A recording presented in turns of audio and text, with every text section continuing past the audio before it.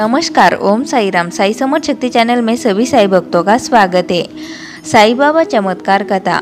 पटना की रहने वाली रागिनी के घर में लंबे समय से परेशानी चल रही थी. उनके घर में रोज कोराम मचता था. रागिनी का कहना है कि ऐसा लगता था कि मानो अपने ही परिवार में लोग एक दूसरे के खून के पैसे हो गए हैं. उन्हें समझ में नहीं आ रहा था कि वो क्या करे. तभी किसी ने रागिनी को साई बाबा की शरण में जाने को कहा. रागिनी को एक मिनट के लिए लगा कि ऐसी हालत में कोई क्या कर सकता है। पहले तो उन्होंने सलाह मानने से इनकार कर दिया। बाद में रागिनी को लगा कि एक बार साई का दर्शन करने में क्या दिक्कत है। रागिनी बाबा के दर्शन के लिए शिरडी पहुँच गई। फिर क्या था? बाबा ने रागिनी को अपनी शरण में ले लिया। शिरडी में बाबा ने रागिनी को साक्षात दर्शन दिया। बाबा ने उन्हें घर जाने की सलाह दी। रागिनी जब वापस पटना लौटी तो उन्होंने साईं बाबा की फ़ोटो लगाकर पूजा करनी शुरू कर दी।